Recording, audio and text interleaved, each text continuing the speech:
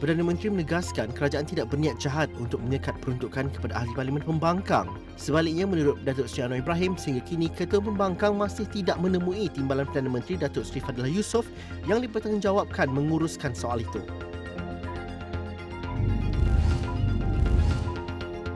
Menteri Kesihatan Dr. Zalia Mustafa menegaskan isu pemakaian jururawat hospital awam yang didakwa ketat dan tidak mematuhi syariah tidak perlu diperbesarkan.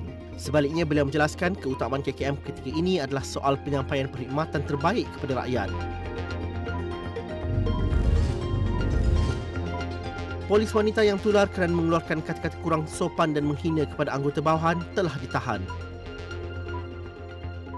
Ikuti liputan berita dan analisis menyeluruh setiap hari di saluran 501 dan astroawani.com.